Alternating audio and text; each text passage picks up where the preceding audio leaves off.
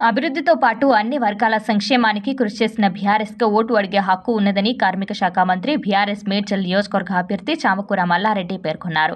మంగళవారం ఆయన గడ్కేశ్వర్ మండలం ఏదిలాబాద్లో గ్రామ రచక సంఘం ఆత్మీయ సమ్మేళనం బోడుప్పల్ ఆకృతి టౌన్షిప్లో కార్పొరేట్ పులకండ్ల హేమలత జగ్గారెడ్డి ఆధ్వర్యంలో నిర్వహించిన ఆత్మీయ సమ్మేళనతో పాటు షామీర్పేటలో నిర్వహించిన మేడ్చల్ జిల్లా పద్మశాలి ఆత్మీయ సమావేశంలో పాల్గొన్నారు.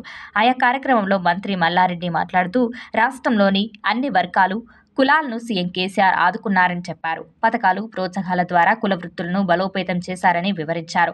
ఒకప్పుడు ఉపాధి కరవై వలస వెళ్ళిన వారు బీఆర్ఎస్ ప్రభుత్వ చర్యలతో స్థానికంగా ఉపాధి పొందుతున్నారని ఆర్థిక పరిపుష్టిని సాధిస్తున్నారని తెలిపారు.